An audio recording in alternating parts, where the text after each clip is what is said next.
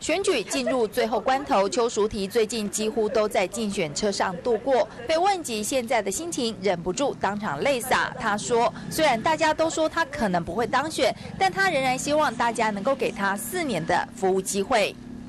对我来说，很多人觉得我大概不会赢，所以我很着急，我把握每一分每一秒，因为很多人说我不会赢。所以我觉得好像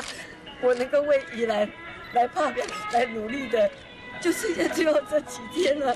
所以宁可不睡觉，我也不愿意放弃任何的一分一秒。我觉得这就是我身为一个被宜兰栽培的宜兰媳妇，我的一份心。我很高兴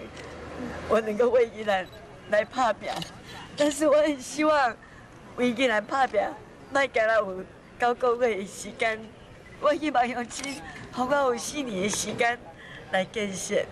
我一定会予伊来无赶快。其实我手挥到已经挥不动了，交通警察也没有人一天只会交通十几个小时的，手手都举不起来了，手都举不起来了，然后脖子很酸，因为要看东边，要看左边，也要看右边，我怕漏掉任何一个人，然后一直努力在这边看，那边看，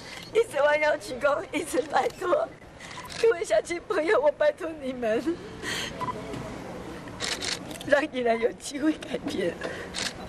所以我在把握就这几天的时间，我很怕它变成我最后的机会，所以我用这样的心情努力的去争取每一张选票。